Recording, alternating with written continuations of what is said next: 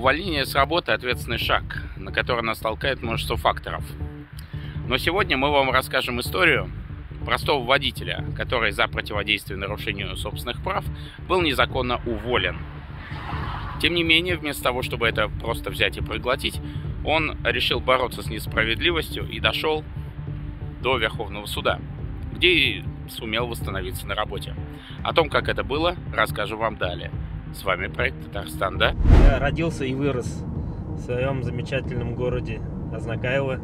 И когда э, выложил, ну я же не знал, как люди относятся к борьбе, оказывается, вот.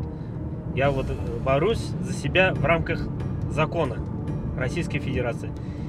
И вот когда э, мне неизвестное лицо выложило, потом мне говорят, Марат, про тебя там в интернете написали, я думаю, что же люди напишут?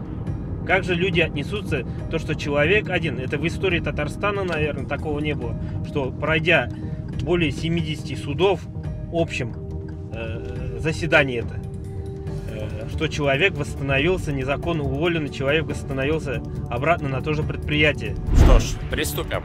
Но для начала нажмите лайк и кнопочку подписаться, чтобы ничего интересного не пропустить. На данный момент я работаю э, в Азнакаевском УТТ, ООО «Укатат спецтранспорт». Более 10 лет уже. И как так вышло, что вот начались дрязги с э, руководством? Почему так произошло вообще? Поначалу все же было нормально? Это э, получилось так со сменой руководства. В 2017-2018 году пришел э, раб, начальником УТТ Махиянов. А потом поставили, или он взял к себе главным инженером Галимова. Это вот два главных ответственных лица, которые и устроили всю эту баламутию. Да, это два. Вот именно из-за них началось. Алло, Радик Ринатович? Здравствуйте, меня Андриан зовут. Я вам писал сегодня в WhatsApp по поводу комментария небольшого, если позволите. Я на больничном пока болею. Нет, я понимаю, но я же вас не, от- Если не вы хотите отвлекаю. какие-то объяснения, чему-то получить, вы звоните руководству управляющей компании. Мы написали письмо. Это э, вот то, где расписалось множество Да, сотрудников. множество людей расписались. Я тоже там же расписался. Э, Приехал Руслан Сулейманович. Мы уж думали, он вопрос решит. Нас собрали в этом зале. э, называется Красный уголок э, в Азнакайском вот это. Когда я начал задавать вопросы, почему так, Руслан Сулейманович, почему так довели, он меня сажает и говорит, я вас слушать не буду, это мои люди, вы бараны, Мои люди, это он имел в виду главного инженера. главного инженера Галимова и Ага. начальник вот это Макьянова. Он даже нас не, не стал слушать. Это, это я, знаете, э, остался... Сколько колонн было, с каждой колонны же уж и начальник колонны, и механики уходили. Вот со второй колонны только два механика же ушло. Два механика и начальник колонны ушел. Получается, Галимов со всеми так конфликтовал, что ли? На личной почве. Ну, да, конечно, никак, э, неприязнь у всех было по отношению к нему. А теперь подробнее остановимся на фигурантах этого дела. А о них есть что рассказать. Здесь мне нанесли на рабочем месте э, по- побои, тот же Исхаков, инженер техники, э, инженер безопасности дорожного движения, меня не выпуская с кабинета, скрутил мне руки, Это вот та фотография. Да, Это- которые фотографии, которые я показывал. Вот инженер по безопасности дорожного движения Исхаков. Вот безопасность дорожного движения Территорию покиньте. Исхаков Ильдар. Вам тут нечего делать. Даже закрыли, чтобы никто не заходил. Также вот Исхаков на, на данный момент Исхаков Заходите. э, проходит по уголовному делу, которое и при задержании меня по КАПу подходит 6.1.1 и уголовное дело. Он, который мне руки крутил в кабинете. Потом это попало э, в сети интернет, э, мессенджер WhatsApp. И также это фотографии. Под этой фотографией меня оскорбляет, э, как я понял, инженер Галимов.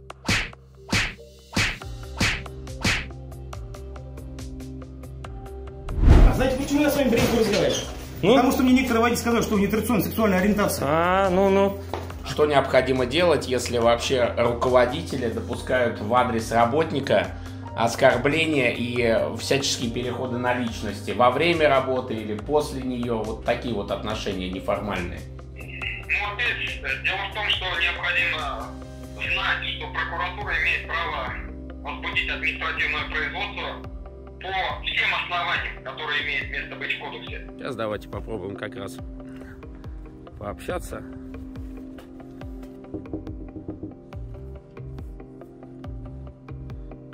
Здравствуйте, нам откроют? А почему? Мы просто хотели взять у вас комментарий небольшой. Не хотите. Хорошо, понятно. Хочу рассказать про Ознакайскую прокуратуру, которая во время э, моего обращения до увольнения я обращался к ним, что э, работодатель в лице Галимова и Махьянова нарушают мои трудовые права, а также законодательство Российской Федерации. В 2020 году в мае э, меня незаконно уволили под э, поддельными документами, актами, под приказами, что я неоднократно не выполнял своих э, трудовых и обязанностей. Э, Там несколько было приказов в основу легло и также стажировка. Стажировка полностью была подделана э, инженер-техническими работниками. Он, значит, не подчиняется. Это нам на руку. Составьте акт, что не, не дает стажировочный лист начальник колонны. Вы проведите мне стажировку сперва. Вы, Он не, он, это нам на руку. Мы в суде доказываем, что товарищ Галимов, проведите мне не стажировку. начальник колонны. Все, давайте акт составляйте. Не дает, не дает. Для уточнения, стажировочный лист – это лист о прохождении стажировки водителей для их адаптации к новым условиям, для закрепления ранее полученных знаний и так далее. Вот как выглядит стажировочный лист нашего героя, а вот он же с позиции руководства. При этом Марат приходил на работу, о чем свидетельствует прохождение медосмотра, а стажировочный лист никто не заполнял и занятия не проводились. И еще нюанс. На момент съемки видео 27 марта, когда у Марата был пустой стажировочный лист, у руководства не было никакого. Однако на суде одним продемонстрировали его заполненный вариант. Правда, без печати и подписи врача. Человека незаконно уволили с работы по мнимым каким-либо причинам. Что нужно делать работнику в этом случае, на ваш взгляд?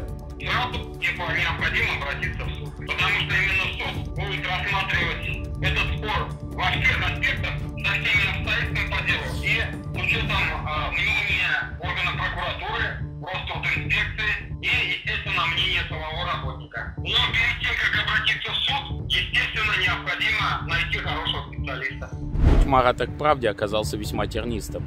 Казалось, он перепробовал все. Вы обратились вот э, в городской суд Да. а, по поводу э, того, что вас незаконно уволили с Да, работы. Да.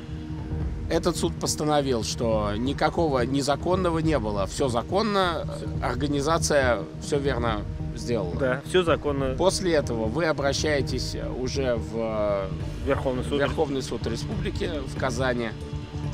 Тот суд что постановляет?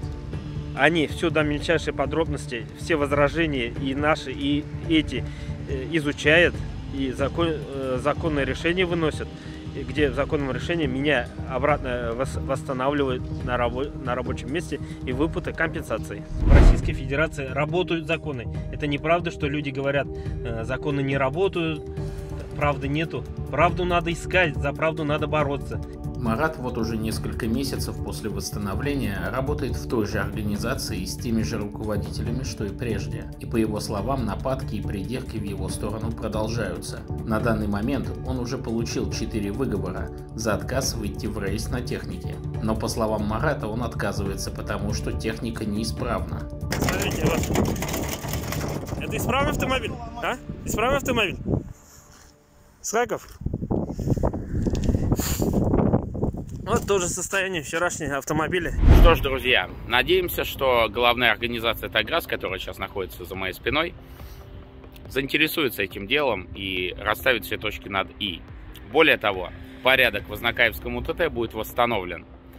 Оставляйте, пожалуйста, свои комментарии под этим видео с ответом на вопрос, пытались ли вас уволить на вашей работе и как вы с этим боролись. Все-таки, если работник знает свои права, он не даст себя эксплуатировать.